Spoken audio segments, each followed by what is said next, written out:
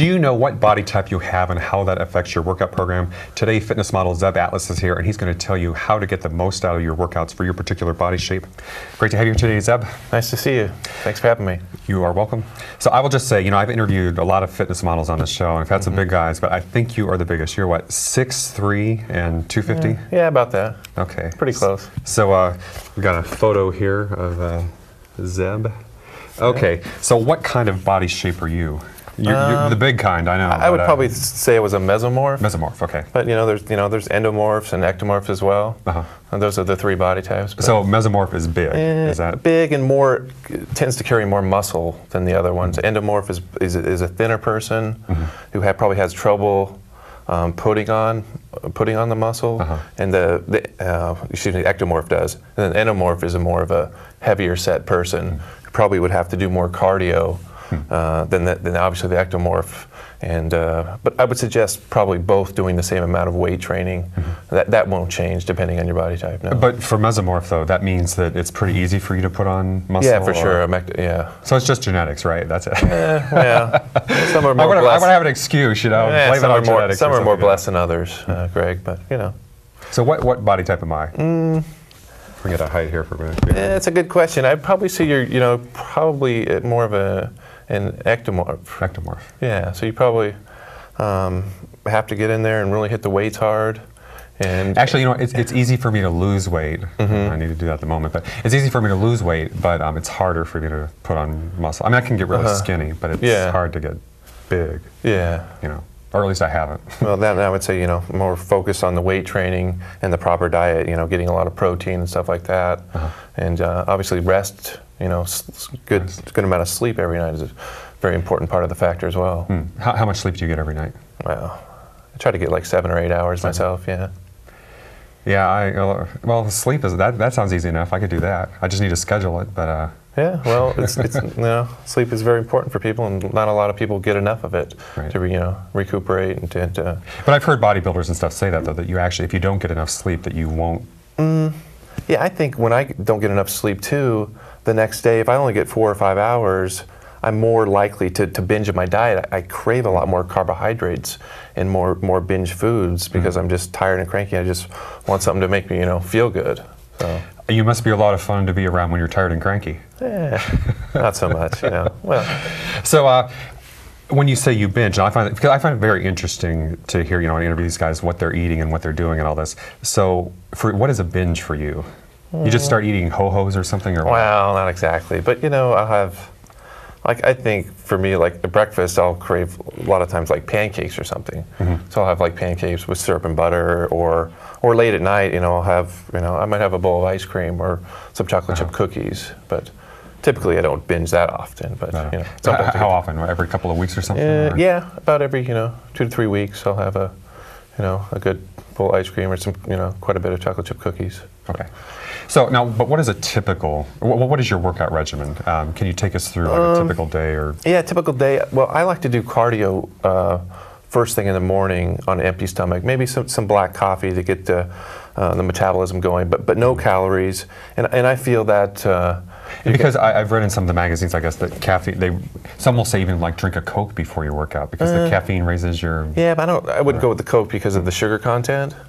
But you know, like straight black coffee, no calories. Uh, and and then when you do it first thing in the morning, you're going to use fat as a fuel source a lot quicker because you don't have the uh, the carbohydrates to burn up Okay. uh, in that workout in the morning session before um, before you use that fat as a fuel source. So, So every morning, pretty much. uh, well, I, I would typically say probably about five or six days a week. I do that about you know 35 to 45 minutes. Uh, now, I wa- I was happy to hear you say that actually because I like to run. Mm-hmm. And although my schedule the last few days I haven't been able to run, but, but usually I run about six days a week. But I've heard so many people say that if you run, you can't get big or you won't get big, it'll break down muscle. Mm. But it can't be breaking down muscle because. Well, the pace that I go at, I don't think it's breaking down muscle. I, I typically go on a, a walk. Um, or I go on a treadmill and an incline Oh. of about you know five or six grade and, a, and just a pace of about three and a half miles an hour. So I'm not typically getting my heart rate up that fast. it's not sprinting or yeah, I'm not. that, I'm not you know. overdoing it, so to say. Okay. So then after your cardio, what do you do? Uh, my cardio, eat breakfast, and that typically consists of about oh, eight or nine large egg whites Mm-hmm. and um, about a cup of oatmeal. Yeah. And I have my trainer Eric Carlson has put me on that kind of a program, and I, I love those damn egg whites. I'm telling you, I thought I, anyway, when people first told me and Yeah. oatmeal, I hated oatmeal when I was growing up, Yeah. but I love oatmeal now.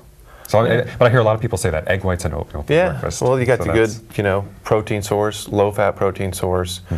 and a long, you know, slow burning carbohydrate. Hmm. So it- your, your energy is, you know, pretty steady state for, for a couple hours anyway after you eat it. Do you put anything in the egg whites because? Well, I put, I like to season with black pepper and a little hmm. Tabasco sauce. Because somebody told flavor. me onions and carrots and mushrooms, and I, I'm surprised how good that tastes when you put that in Oh, there. I'm sure it does. Yeah, I'm sure. Yeah, anything helps. Lots of vegetables are always good. Now, do you put anything on the oatmeal or is it plain? Uh, well, I put some Splenda Hmm, okay. and some cinnamon just for a little flavor. But it's you know again it's no calorie. I've been putting some strawberries on there. Is that that okay? or- Yeah, that's fine. Yeah, I mean okay. the simple sugar may not be the best, you know, in the in the fruit source, but Hmm. because that'll tend to you know give your body an insulin spike, Hmm. which may t- help you know have you hold on to body fat a little bit. Yeah, I wondered about that because somebody else I talked to once told me like we were actually having breakfast and he didn't eat the oatmeal because he said that he doesn't put. I mean, he ate the oatmeal but, did, but didn't put any fruit on it. and I had a little bit of fruit on it. Yeah. But I've heard a lot of bodybuilders say that um, they will not have. Um, Yeah, it- they don't eat a lot of fruit. Is that yeah, right? especially in a strict dieting phase when they're really trying to maximize body fat reduction. Mm-hmm. Simple sugars are, are pretty much a no-no for that. The only time really that it could be necessary is after the workout. Mm-hmm. We need to replace those glycogen, glycogen stores in your muscles to have a little uh, some simple carbs, maybe you know 20 to 30 grams of simple carbs after your workout with a, a protein source as well. Yeah, because I, I like sugar, so for me, fruit was a good way to. Yeah, yeah. Probably better than the candy bar or something. Oh, yeah, definitely. But since this diet, though, I've really been because ever like I say, so many guys say the same thing. I've been really trying to give up all the sugar that I had been eating all the time like that. But so okay, so after you have your oatmeal, then what? Uh, typical days, you know, I have an oatmeal. I'll, I'll go to my website, check my, you know, emails, um, message, you know, message people back, and then I'm hitting the gym about an hour and a half later. So that's what, uh, what time is it now? About It's about probably 11 o'clock 11 in the morning. okay. So I'm going to the gym, doing a weight workout. Of course, before that, I have to have another meal, of course, before I go to the gym. Mm. So I probably will have a, a protein bar or, or just a, a meal replacement shake prior to going to the gym. Okay. About, you know, about half hour, 35 minutes before going to the gym. and, and so you like the protein bars or the protein? You're just buying them off the shelf, the regular protein bars or shakes or Um, something that you. Well, for me at this time, yeah, because I, I'm pretty, I'm more of in a maintaining phase. Mm-hmm. You know, I don't really need to. I'm not sure really trying to get that much bigger or trying to drop that much weight. So, Because see, I like those bars. I actually think they taste better than candy bars. yeah, I love some those of them bars pretty do. Depending on, you, know, you want to look for some that are not really high in sugar or overly high in fat as well. You, you know, keep the calories around oh, up 250 to 300 in those bars. Okay. Yeah, because some people have told me, uh, one phase, like I was practically living on those because I liked them so much. And one trainer said, well, you know, there, there are a lot of sugar, a lot of carbs or something, and you couldn't. But yet I still hear a lot of people say they take them. Yeah, yeah, I would I would limit it to you know one a day or one every other day. Just not something you need to do you know two to three times a day. That that would be overkill, and you, you wouldn't find your your getting your best weight weight loss results from eating Did, did you know that Snickers is coming out with a protein bar or something like that? I didn't know that. No, I, I don't think you'll probably be using it, but I just no, thought- no. I'd be curious to see the uh, the calorie count and the. I think it's probably the same candy bar, and they just changed the label. Or Yeah, they might like have so. added a few more peanuts for extra protein or something. But those are good. so okay, so then when you're in the gym, um, what's your how does your workout go through the week then? Is, are you working out the same time throughout the week? or- Uh, Typically, when I'm home in Las Vegas, but I do travel a lot. Mm-hmm. Um, yeah, it does. Like, particularly, I might do. I, I split up my body parts, so I might do like my chest uh, one day, and that'll you know. So what do you do for chest? Um, I typically start off with, with a press, like a, and I and I really like free weights a lot better than the machines. Hmm. Um, I think they get better results, but. Uh, Is that better for balance or? or, Mm, yeah, you well, know, it just the- uses more of the mind and more, uh, you know, more muscle as well, because you have to use a lot of uh, ancillary muscles as well. It's not just a machine where it's your chest. I mean, w- when using a bench, you know, you got your triceps, your front delt is in the, involved in the motion as well. So, um, and, and obviously balance as well. So what are your? I'm something you're looking. at. These are huge arms, by the way. Well, how big? What are, what are your 20. measurements? I I saw you're six three. 2021 for the Okay. arms. Depending. And what's your chest? Oh, it's about uh, 53. Oh. So. Okay. I'm a big boy. I, I have to write down everything you say today and uh, try to implement it. So, uh, okay, so um, So, so the the chest routine. I usually start off with like a, a barbell um, press. I do like three sets of about ten to twelve. I don't really go overly heavy to, to get down to like um, five or six reps. I just don't feel that builds a lot of muscle. That may build a lot of strength, but it doesn't do what I'm looking for, which is to build quality muscle. uh-huh. so, so what's your max? Well, on the bench, it's around uh, oh, I think 385. Wow. So quite a bit. So that's even more than your body weight, obviously. So yeah, a little I, bit I. I'm trying to get to my body weight level, I think. yeah. well, we will be right back with Zeb Atlas right after this.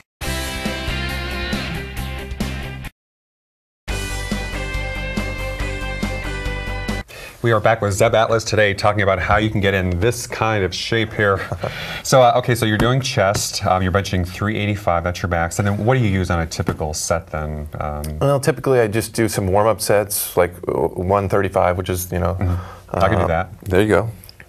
And then put on two plates, which is 225. Okay. Do like another warm-up set of you know, you know, 10 to 12. And then to put on uh, three plates, which is 315. okay, you lost me there already. I have to go back. Three plates, okay. 315, and Okay. just do you know, two working sets there, you know, between uh, right about 10 reps each. Okay. And then that's that's what I call enough for that that exercise, and we'll go on to something else. We'll go on to an incline mo- movement, either incline dumbbell or you know incline flat bench or incline incline bench Uh-huh. for the upper chest. More the flat bench is going to work more of the medial part of the chest. Uh-huh. Incline, when you're incline leaning back at like a 45 degree angle, it's more the upper chest.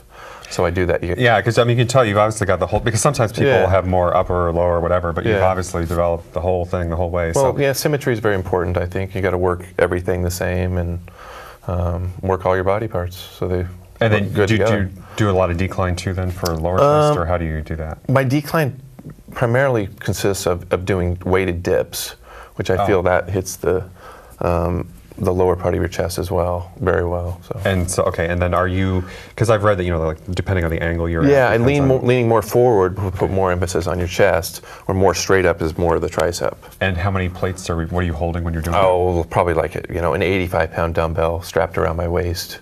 that? okay. Got to add a little more, a little more resistance, you know. Yeah, I guess it would. Yeah. Okay, and uh, so is that all for chest, or do you do more? Um, so do the incline for probably two to three sets of the incline, and then two to three sets of the, of the weighted dips, Uh-huh. and then maybe finish with a, a pec deck uh, or a, a cable crossover. Okay. You know, another two to three sets there. And, so how long are you spending in the gym for? Um, that workout for chest only takes about you know 40 minutes. Not 40 long. minutes, really? Yeah. Yeah, that's interesting too. When I talk Yeah. to some, some people who are in great shape like this, they'll tell me that it's, it's not as much time as you might think. Yeah. And I guess it's once you get there, you're just maintaining it. But- Well, I think this would be a good amount for anybody, really, because um, I'm doing my cardio in the morning. It's not like I have to do cardio after I work out, so I separate it up. Mm-hmm. My gym time is really reduced that way. so, by the way, what did it take for you to get to this level? I mean, how? When, when did you start Well, working out? And Right after high school, I didn't do anything in high school. I was hmm. about 165 when I graduated in high school. 165. How tall were you? Well, same height, about 6'2", 6'3". Wow. Yeah. So you were scrawny. Yeah, I wasn't scrawny, but I you mean, skinny. I mean, yeah, for yeah, yeah. 6'3 and 160, yeah. that's pretty skinny. Yeah. I Yeah, was I pretty mean, lean. compared with yeah. I was lean. So how, how did you? wa- Was it hard for you before that, or were you just it hadn't kicked in yet? Mm. No, or, I just uh, never had weight trained before. I was a golfer in, in high school. golfer. Yeah, played some baseball, but you know, I didn't get into the into the weight training until right after my freshman year in college. I had a you know a conditioning class, and I took to it, so to speak, and, And, and been, how been long? at it for the last 17 years straight. 17 years. Wow. And so how long did it take you to get big? Um, Um, not that long, really. Um, I started had some good, you know, coaching right away through that class and through people I asked a lot of questions, read a lot of magazines, and just probably two to three years, two, and I three started. years. And were you shape. this big at that point, or Oh, well, not this big, but you know, I you know was constantly. I thought I was at that time. You know, everybody thinks you know they they look pretty good, and you know, two to three years after. But you know, obviously now it's a lot, quite a bit bigger than it was then. And so, the, did you? Well, I've started using some supplements and stuff that my trainers Uh-huh. recommended, and I, you know, I've had various thoughts about that. I wasn't Yeah. sure, but I decided, well, if I'm really going to try to do this, I'm going to go just follow his recommendation and it's working for him, so I'm going to, to do this. Yeah. But did you do it all naturally, or did you use supplements or No, I used, I anything use some supplements, but um, basically, whole foods are going to give you the best nutrients. Mm-hmm. Um, but you make sure, you, obviously, when you want to build muscle, you want to you know up your protein intake. Uh-huh. So maybe um, meal replacement shakes or, or protein shakes will help as well. So how much protein are you taking every day? You must be taking a hell of a lot of protein. Mm. I would imagine right around uh, 250 grams a day, wow. Which is you know quite a bit, but not like some of the you know bodybuilders you read about, like the pros, they're taking 500, 600 Really? grams a day. So. And Yeah. and they can handle that, I guess. There's you don't have side Uh, effects or something if you. I guess I, I would think you'd have to. Obviously, drinking a lot of water helps flush out uh, the kidneys and such. But you know, they, obviously, they have to drink a ton of it to to combat that high protein intake. Okay. Well, I think we left you at the gym. You were doing chest, and so Mm-hmm. I guess we'll just continue on with the day then. So then afterward, you're. Well, you said you're pretty much that's done. no, no, that, that's done with the chest, or- and then I might okay. do some. Uh, typically on on chest day, I'll, I'll do calves as Mm-hmm. well, and that's you know seated calf raises. Uh-huh. You know, three sets there, and then standing calf raises. Okay. You know, one's going to work the soleus, and then one's going to work the gastrocnemius more. So. And. I'm assuming those are somewhere down here. Yeah, those are your lower leg there, both down there. And uh, how long is that workout then? Oh, that, that only takes about 10 minutes there, Hmm. and then I finish it off with about you know five or 10 minutes of abs. So Okay. that, that's about a 60 minute workout. So about an hour. So five or ten minutes for abs. Yeah. And abs every day. Um, I wouldn't do them every day, but I, I do them about three times a week. They're still a muscle, and they need to recover like everything else. So. there. And but just five or ten minutes at a time. Uh, yeah, Oh. actually, for me. Because you know some of those abs classes are like half an hour or something. Yeah. I always feel like I should probably go in there for an hour or something like six days a week. Well, I would maybe do it once a week or once every other week, doing that that 30 minutes straight. But Uh-huh. you know, 15 minutes, you know, a couple times a week, I think should be fine if you do it correctly. So, now is that it for exercise on that day, or do you do more? uh, no, that's pretty much it. Okay. So then the next day is that an off day, or Uh, are you? no, typically that next day is the same and the same thing. Oh, actually, you know what? But I have to go back a day. We, um, did we get your lunch and your dinner? What are you eating? Well, tip, right after I work out, I need that uh, replenishment, so I'll have a, a protein shake Okay. and, and mixed with some carbs to get that uh, glycogen restored in my muscle. You know, get them to the muscles. Now, when you say mixed with carbs, what do you mean? You're, Uh, protein and carbs, like you know, like a meal replacement shake. It has carbohydrates in it. Okay, so Some- it- actually some simple fruit. That's when I would take okay. it in. Some more fruit, okay. Some protein and some like a banana mixed in the shake or something. okay.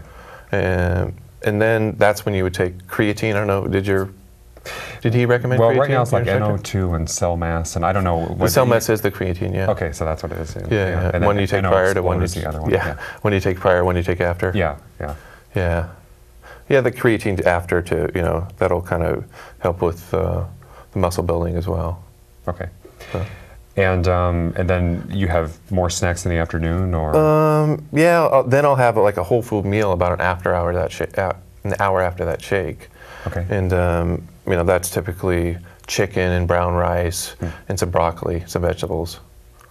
So. And then, uh, or do you keep on eating then throughout the evening, or Uh, yeah, I typically do. I typically uh, will have another, probably one more meal, whole food meal. Um, maybe it's a, a steak and a, and a yam and some vegetables or some fish and some, some more rice.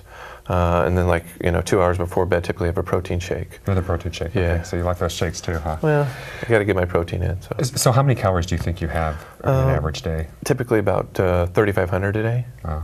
Yeah, that's the other thing. I tell you, you know, it's it's great that one of the payoffs, I guess, when you get in this kind of shape, that you can eat that much food but still be in great shape because. Well, my body needs it. I weighing 250 pounds, it kind of needs to be constantly, you know. Because you know what, fuel 3,500 the calories a day would do the average person. That's a pound right there. A pound a week. if you did it, if you did it in a week.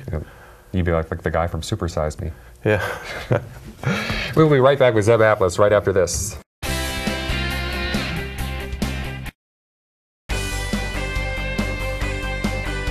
We are back with Zeb Atlas telling you how you can get in this kind of shape today.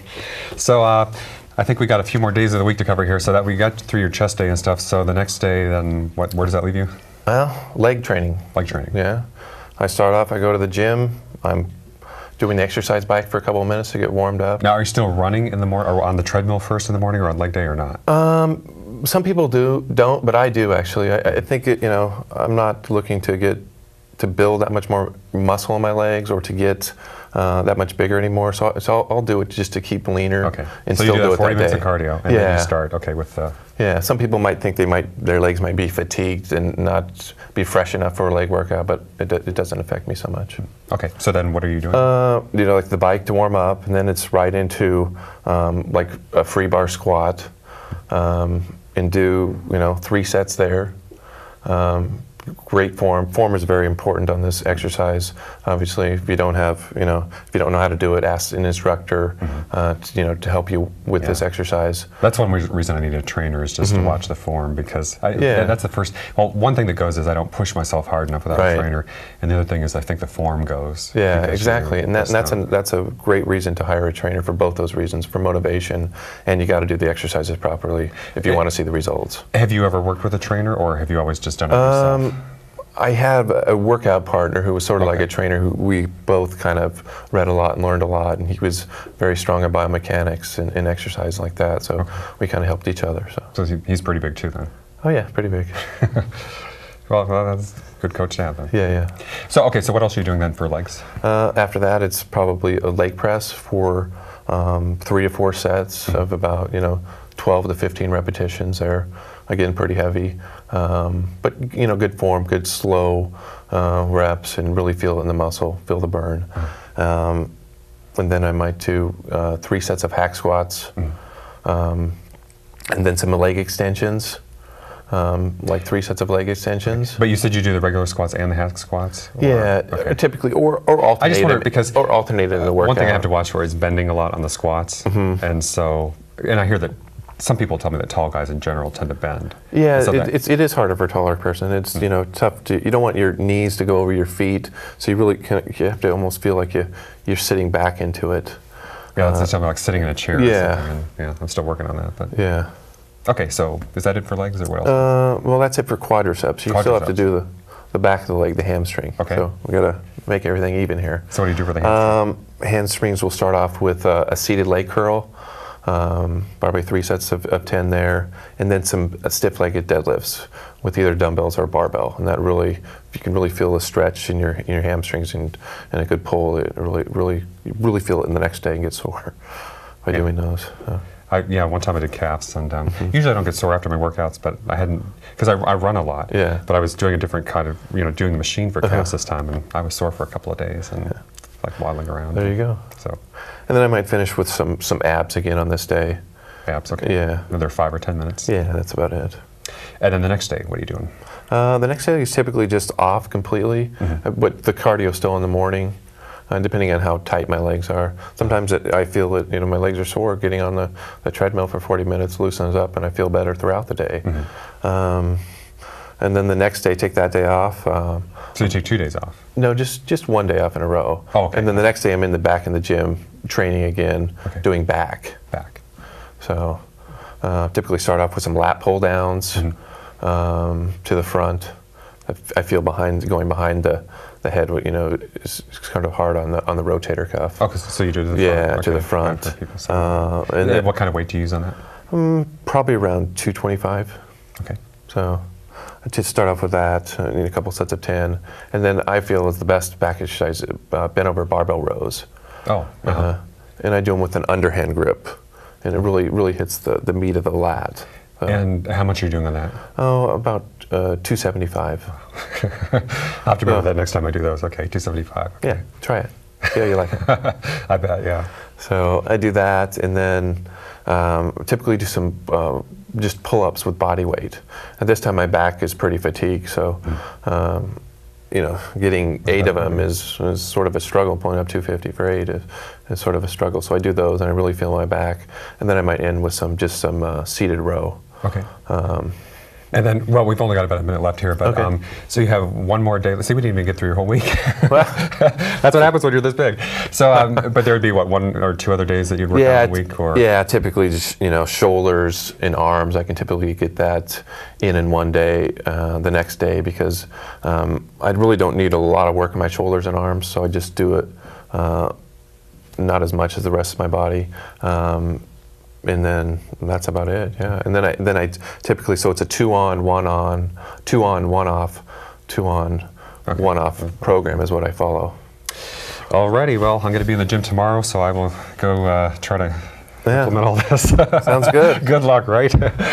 well, this is Zeb Atlas. Uh, thank you, Zeb, for being here Thank you. today. Nice Uh, to meet you. Fitness model telling us how we can get in great shape. Thanks, everybody, for watching. We'll see you next time.